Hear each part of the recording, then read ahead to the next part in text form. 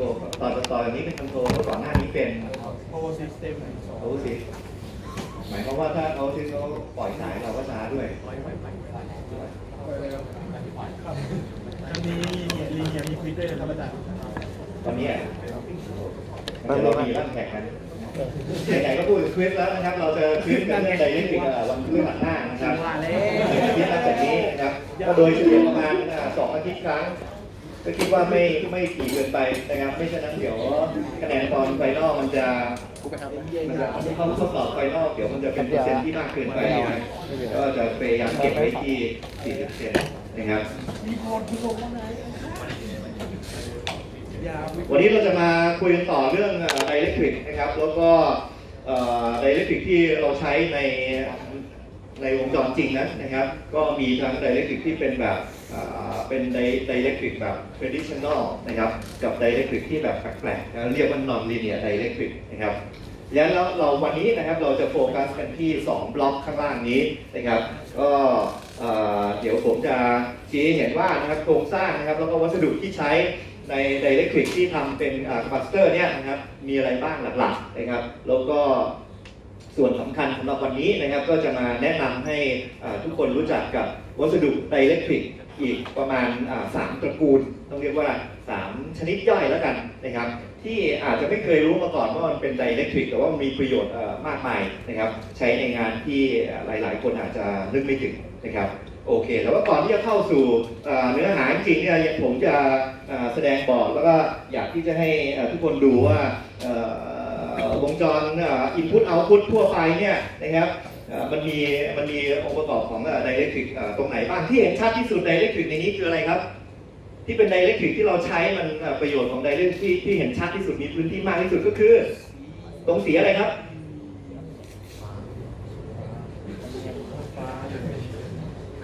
ก็พูดพูดมามีอยู่สองสีเมื่อสักครู่นี้หนึ่งในสีนั้นถูกต้องแล้วก็ชัดเจนที่สุดเลยคือสีอะไรครับ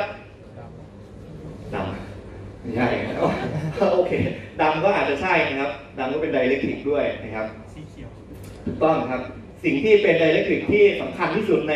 เอ่อแอปพลิเคชันนี้นะครับ ก็คือแผ่น PCD นั่นเองนะครับ คุณใช้ PCD สีเขียวเนี่ยเป็นวัสดุที่เขาเรียกว่า FR4 นะครับ คุณเข้าไป keyword เอ่อเข้าไปดูนะครับ เพราะฉะนั้นแล้ว dielectric ที่สีเขียวเนี่ยนะครับ ใช้เป็น insulation ระหว่างเอ่อระหว่างเอ่อเอ่อลายที่ด้านบนกับด้านล่างนะครับ อันนี้เป็น PCB แบบสมัยก่อนนะสมัยโบราณนะที่ง่ายมากเลยนะนะก็คือมันมี layer ที่ด้านด้านหน้ากับด้านหลัง คุณอาจจะเห็นลายจางๆที่ด้านหลัง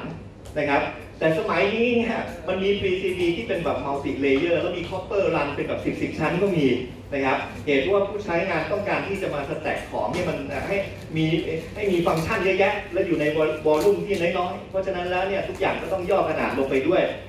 ก่อนหน้านี้ในวงจรอิเล็กทรอนิกส์เนี่ยผมเคยแสดงรูปที่เป็น cross section ของ transistor ที่ Intel เขาที่ที่ Intel เขาจะไปแสดงทุกๆเดือนธันวานะครับ ก็คือจะมีชั้นของ layer เยอะแยะเต็มไปหมดเลยเป็น 10 10 ชั้นนะครับ นั่นคือในระดับวงจรรวม ทีนี้ในระดับ PCB ก็จะเอา concept มาใช้คล้ายๆกันเลยนะครับ โอเค อย่างไรก็ตาม PCB ไอ้สีเขียวเนี่ย ถือว่ามีส่วนที่สำคัญในระดับ macro scale และในระดับใหญ่นะครับ แล้วก็ถือว่าเป็นตัวที่ obvious ที่สุดตัวหนึ่งนะครับ แต่มีตัวที่ไม่ค่อยชัดเจนไม่ค่อยดูดูไม่ค่อยกระจ่างชัดว่าเป็น dielectric เอ่ออยู่บ้างนะครับโอเคคราวนี้มาดูนอกจากสีเขียวแล้วมีสีอะไรอีกครับที่เป็นเอ่อ dielectric อ๋อโอเคแน่นอนเนาะไอตัวเรซินสีดำเนี่ยที่คุณเห็นเนี่ยนะครับสีดำเนี่ยก็คือ epoxy resin นะครับเพราะฉะนั้นแล้วก็คือ จะเรียกว่า dielectric ก็ได้มันเพราะเพราะมันเป็นฉนวนหน้าที่ แต่ว่าหน้าที่หลักของมันเนี่ยก็คือปกป้อง environment ฝุ่นความชื้นอะไรเงี้ยไม่ให้เข้าไปใน semiconductor เท่านั้นเองนะครับเพราะฉะนั้นถือว่าทำหน้าที่เป็นเหมือนกับเสื้อผ้านะครับซึ่งก็ถูกนะครับเพราะฉะนั้นสีดำเป็น epoxy resin แล้วก็เป็น dielectric มีสีอะไรอีกครับ สีอะไรอีกเอ้ยผมเริ่มหัวมีอะไรอีกที่เป็น dielectric ตัวที่ traditional เอ่อ ตัวตัวที่เป็น dielectric ในความหมายที่ทุกคนคุ้นเคยกันก็คือตัวตัว cap capacitor นะครับโอเคนะเรามาไล่ดูที่ว่ามี capacitorอะไรบ้างนะครับ อยู่บนนี้ อันไหนบ้างครับที่เป็น capacitor สีไหนครับสีเหลืองถถูกต้องเลยนะครับ ตัวนี้เป็น capacitor นะครับให้สังเกตสีเหลืองเนี่ยนะครับจะอยู่ประกบกับ IC เสมอ ตรงไหนมี IC ตรงนั้นมี C นะฮะตรง IC ในที่นี้คือ Integrated Circuit นะครับวงจรรวม ตรงไหนมีวงจรรวม ตรงนั้นจะต้องมี cap มาเพื่อที่จะ support กระแสให้มันเวลามันสวิตช์แบบเร็วๆนะครับ เพราะฉะนั้นเรามี IC มี C นะครับ มี IC มี C นะครับ มี IC มี C ถ้าอย่างนี้อันนี้เป็น relay นะ อันนี้ไม่ใช่ IC นะครับ เพราะฉะนั้นแล้วมี IC มี C นะครับ เพราะฉะนั้น capacitor ที่เห็นชัดเจน แต่ว่าจริงๆแล้วอันที่เป็น capacitor ที่ไม่ได้ชัดเจนที่สุดนะ capacitor ที่ชัดเจนที่สุดคือต้องตัวใหญ่ที่สุดใช่ไหมครับ คือตัวนี้นะครับ เพราะฉะนั้นแล้วตัวนี้นะครับตัวนี้นะที่เป็นสีน้ำเงินนะครับ ตัวนี้เป็นสีอีกชนิดหนึ่งนะครับ อันนี้เรียกว่า electrolytic capacitor เป็นสีที่ถูกที่สุด แล้วผู้ผลิตวงจรเนี่ยชอบที่สุดผู้ผู้ผู้ผลิตบอร์ดนะ ชอบที่สุดเพราะมันถูกที่สุดนะครับ แต่ปัญหาคือมันใหญ่แล้วมันก็รั่วได้นะเดี๋ยวเดี๋ยวเดี๋ยวเดี๋ยวจะเห็นนะมีภาพให้เห็นนะครับ เพราะฉะนั้นแล้วมี capacitor อยู่ 2 ชนิดละนะครับ ชนิดที่เป็น electrolytic นะครับ แล้วก็ชนิดที่เป็นเซรามิกนะครับ เพราะฉะนั้นแล้วในนี้ข้างในเป็นเซรามิก เดี๋ยวเราจะมาดูโครงสร้างของมันนะครับ แล้วมีอีกไหมครับที่เป็น dielectric คือคือสีเหลืองนี่หมายความว่าสีเหลืองทุกอันนะเพราะฉะนั้นเราไม่นับถือว่านับไปละนะครับ สีน้ำเงินพวกนี้ก็ถือว่านับไปละมี dielectric อยู่ตรงไหนบ้างครับ มีตรงไหน มีตรงไหนอีก มีไหมเริ่มทริกกี้ขึ้นมานะเพราะฉะนั้นเราคนตอบถูกนี่ก็จะมีคะแนนพิเศษให้นะครับ มีตัวหนังให้นะครับ ลองเดาดูซิมีมีมีสีอะไรบ้างครับเผื่อมีเผื่อมีตัวหนังฟรีให้นะ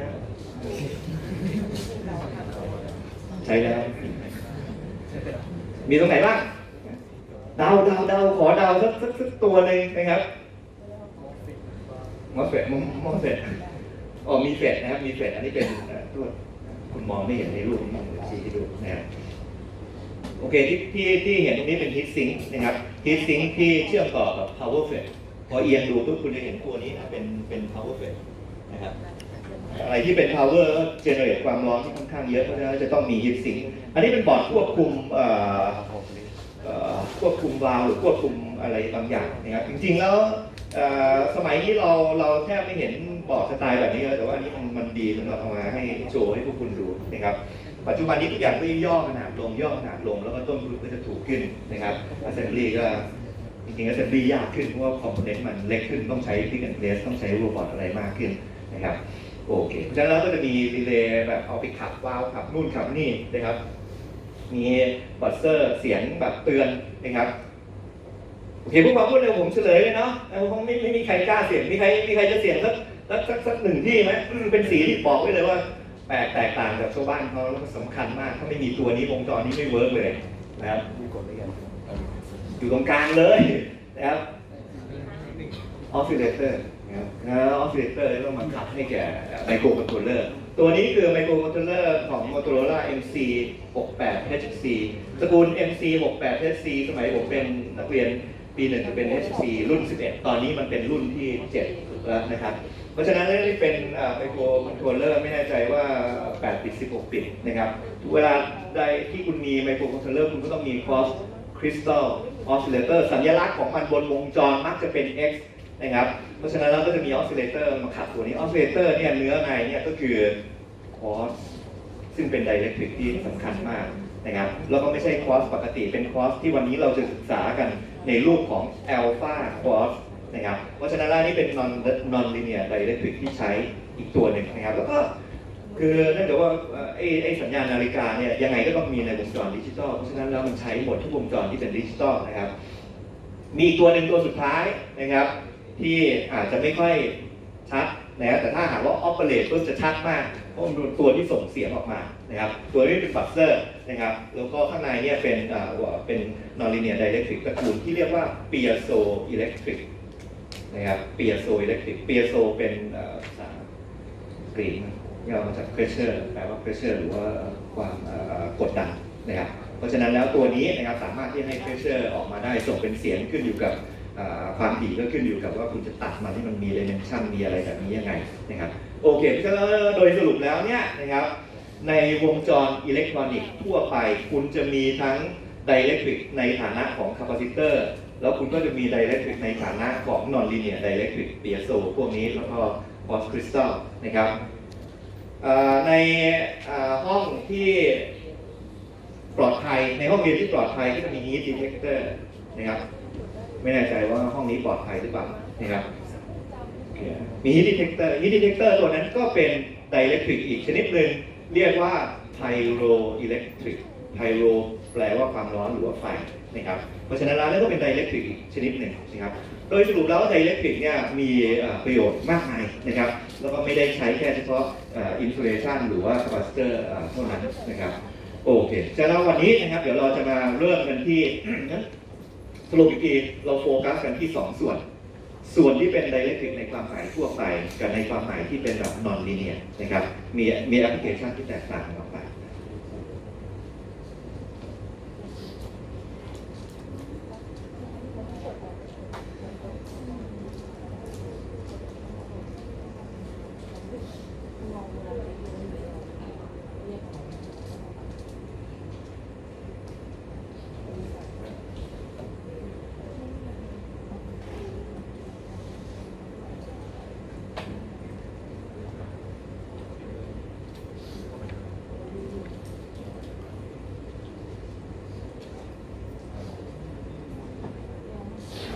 ดีสี่ยังไม่ค่อยตื่นอะตื่นแล้วนะครับโอเค ก่อนหน้านี้ผมเคยพูดว่าวัสดุไดเรกทริกเนี่ยจะมีจะมี